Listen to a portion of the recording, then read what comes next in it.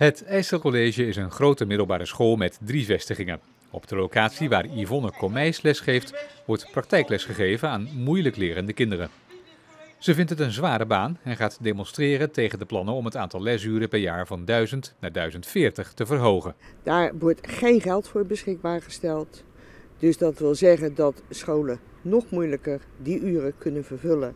Leerlingen die hier op deze locatie werken, worden daar de dupe van. En ook collega's. En daarom ga ik naar Utrecht. Toch gaat op deze school maar een kwart van de docenten mee. Yvonne's collega Martin Sigma behoort tot de groep die doorwerkt. Ik heb een hart en dat hart ligt in Utrecht. Laat dat even duidelijk zijn. Maar het zit niet in je bloed en die kids, ja, je wilt toch met die kids werken? Daar gaat het toch om. En ik neem aan dat er daar in Den Haag op zijn minst 150 reële mensen in die Tweede Kamer zitten. Die snappen toch ook wel dat dit niet werkt. Ik draai soms weken van 60 uur hoor, mevrouw Bijsterveld.